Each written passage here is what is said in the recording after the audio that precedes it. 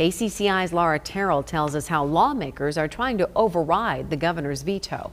Iowa Democrats are calling for a special session so the Iowa legislature can vote to override the governor's decision. Now, Governor Reynolds on Friday vetoed the bill that would have expanded the state's cannabis program. During the session, the Iowa legislature approved the bill that would allow a patient to receive 25 grams of THC every 90 days. The bill passed both the House and the Senate with bipartisan support, but the governor says she's worried the THC level is too high. Now, in order to hold a, hold a special session, two thirds of the state's legislators must agree.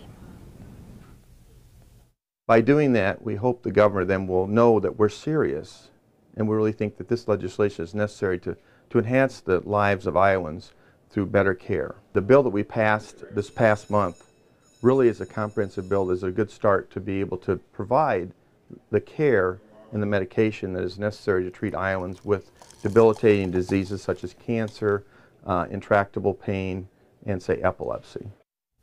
Forbes says he knows this special session is unlikely to happen. We asked Iowa Republicans for their reaction, and we got a statement from Republican House Speaker Linda Upmeyer, who said in part, While there were many good things in this bill, I don't know if it has the consensus necessary at this point to override a veto, so a special session would be ill advised.